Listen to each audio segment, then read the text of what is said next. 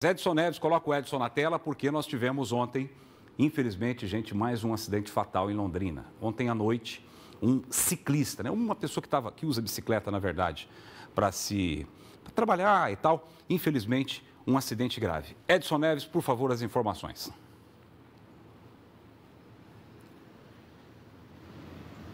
Pois é, Fernando, esse acidente então foi aqui na zona sul da cidade, foi atendido a vítima pela equipe do Corpo de Bombeiros, mas infelizmente acabou não resistindo a esses ferimentos. A gente vai conversar com o Cabo Martins do CIAT, que foi ali um dos profissionais do CIAT que atendeu essa ocorrência. Martins, bom dia. No momento em que vocês chegaram lá, como é que estava o estado de saúde desse homem? Era uma vítima aí de queda de bicicleta, posteriormente num, bateu num muro né, frontal. Era uma, uma descida, né, no a rua do bairro. E a vítima possivelmente estava sem freio e foi reto ali no muro. A vítima assim, encontrava-se, não, respondia, não tinha estímulos, é, inconsciente, já em parada cardíaca ali na, no, ao solo ali do, do, do local. Quais foram os principais ferimentos? O ferimento importante dele, né, que ocasionou aí, infelizmente a morte, a vítima faleceu dentro da ambulância, é um trauma de crânio gravíssimo, né? Com uma fratura aberta ali, região do frontal de, de crânio, né? região da testa. É, várias fraturas abertas, né? E várias fraturas fechadas ali também, é, região de parietal, né? Que é a região do, do lado da cabeça. Politraumatismos, então, a gente pode classificar dessa maneira? É, tinha várias, né? O, o, o osso ali da calota craniana ali estava esfarelado ali, e também é uma fratura aberta no, no punho esquerdo e uma fratura aberta no joelho esquerdo. Martins, então, independente da idade, esse homem tinha 61 anos. Ali, por toda a cinemática, como o acidente ocorreu, é, realmente seria muito difícil sobreviver? Ali, a, as lesões dele seria muito difícil. Mas quando chegamos ali, tinha um pouco ali de batimento bem fraco, né? Mas já estava...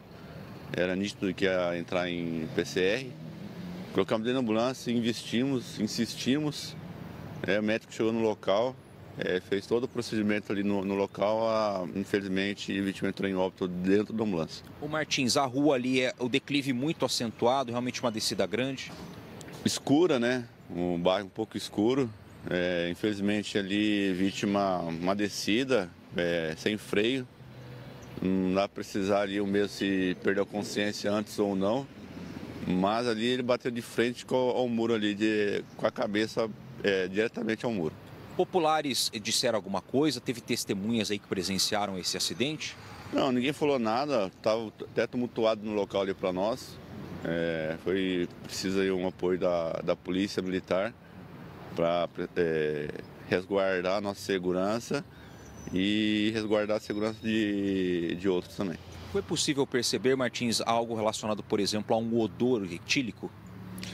Ele tinha um. exalava um, um, um, um alto etílico, sim.